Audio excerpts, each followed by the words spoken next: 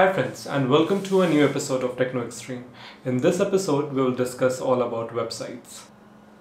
So friends, I'll show you how you can create your own website and make it live. Also I'm going to guide you through some of the major key concepts. Let's start with the definition of website. A website is a collection of web pages and for demonstration I'm showing you Amazon's website. So you can see that this website consists of a number of web pages. Let's click on a link. Let's click on Fire TV Stick. So once I click on this link, you can see that it routes me to a different page. Similarly, if I'll click any other link, it's going to take me to a different page, which shows that this website is a collection of web pages. Now, a web page is generally made up of HTML, CSS and JS. So HTML stands for Hypertext Markup Language and this is the language that your browser understand and uh, it converts a .html page into a web page. CSS stands for Cascading Style Sheet and uh, this is responsible for the appearance and looks of your website. Now JS is JavaScript. I can give you example when you create a website which uses authentication and when you enter wrong credential it gives you a pop-up saying that uh, your you have entered invalid credentials. That's just because of that pop-up is just because of JavaScript. Now let's start with the tool used for creating websites. So you can use Notepad++. Notepad++ is uh, just like notepad and uh, if you are a beginner you can use this tool. Moving on you can use adobe dreamweaver. So it's one of the most popular tools which is used for creating a website. So uh, you can either use dreamweaver and there's one more tool which i want to mention and that is uh, microsoft visual studio. So microsoft visual studio is also used for creating a website. And uh, yep these three tools are the most popular tools with which you can create uh, static responsive or dynamic website depending on your needs.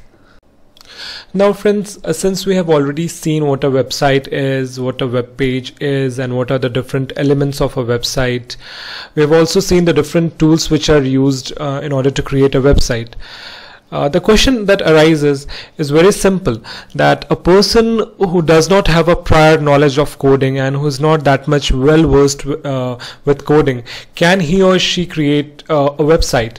The answer is absolutely yes. He or she can uh, create a website with a little or no knowledge of coding using CMS the full form of CMS is Content Management System and there are a number of uh, CMS available through which you can create a website. I'm going to show you the most popular uh, CMS that are used for uh, creating a website.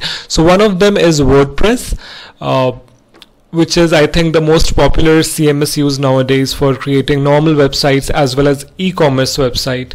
Apart from uh, WordPress you can also use Drupal. Drupal is also a CMS uh, which is used for creating website and one more popular CMS is Joomla. So Drupal, Joomla and WordPress can be used uh, for website creation if you have if you're not that much well versed with coding. Now we have created a website and I think it's done, right? Actually no, because we have to make our website live and for making our website live we need to know about two really really important stuff. One is domain and the other thing is known as hosting server. So what is a domain? A domain is going to provide a URL for your website and through which people can search your website and can uh, go to your website. So for that you can use free services uh, from website like Freenom. So Freenom uh, is a service provider, is a domain service provider is going to provide you domain and that too for free if you want. So uh, you can use this service for one year and after that I think it's paid.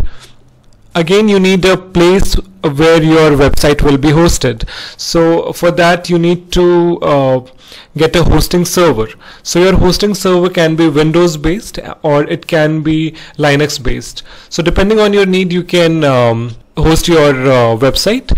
And uh, one of the portals that provide you free uh, web hosting service is ProFreeHost. So uh, using this you can host your website. Now let's move to some paid service provider. Now I'm talking about paid service provider because if you are a professional or if you are trying to host a e-commerce website or uh, other important website uh, for which you need speed and efficiency you need to get a paid service. For that uh, you can um, you can use GoDaddy service and GoDaddy is one of the uh, most popular uh, website hosting as well as domain service provider. Other than that uh, what I use is uh, BigRock because I'm based in India. So for uh, uh, hosting a website I use BigRock also have purchased domain using uh, BigRock. So uh, that's all about uh, website creation and website hosting uh, again friends uh, I'm not going in deep uh, because I have to create a short video and I, I cannot include each and every topic uh, in this video. So that's all for this episode of Techno Extreme and have a nice day. Bye bye